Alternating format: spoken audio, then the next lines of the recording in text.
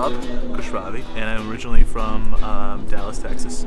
Uh, the first time I did stand up was in 2003. Um, I had just taken a comedy class, and I decided, like, it was, a, I heard on the radio, and I was like, oh, hey, that sounds like fun. So I took the class, and it was this little tiny dive bar next to an old motel where these old ladies would hang out, and these, like, old farmers would throw darts.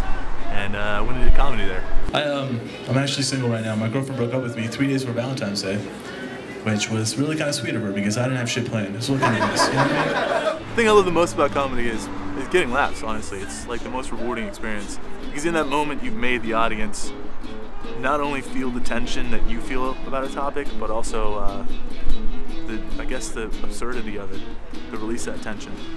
The breakup was really ugly. I said some things I wish I could take back. I looked her right in the eyes at one point, you guys, and I was like, you will never find someone who loved you like I loved you.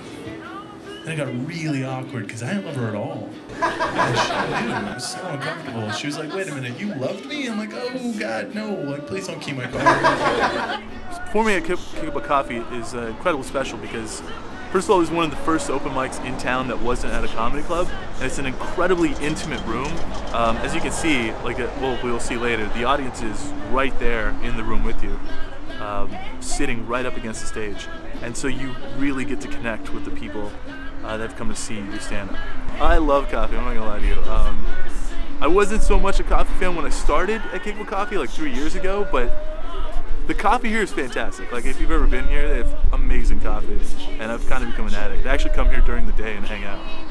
My head is big. I don't know if that's the problem. so that's a problem.